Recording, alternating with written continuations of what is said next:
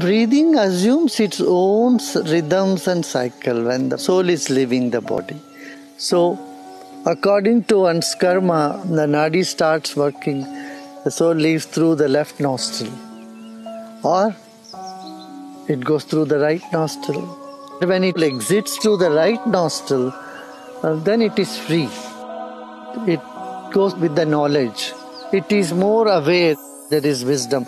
If it is going through the left side, then it is going with certain intentions and emotions, so it is going to come back. And it is connected in life also. If you see, when the right nostril is functioning, you will find there is more left brain activity, and so you are more alert, you are conscious, and you are logical. But when the left is functioning, then your right brain is more active.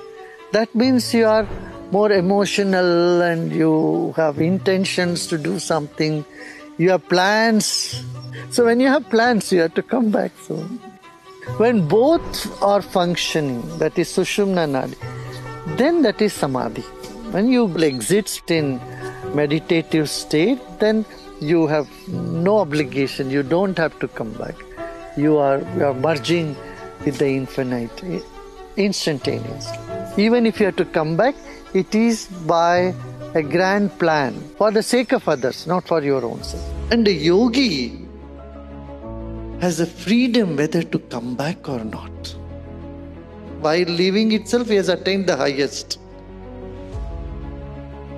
So he chooses to come back if he wants to, or no need.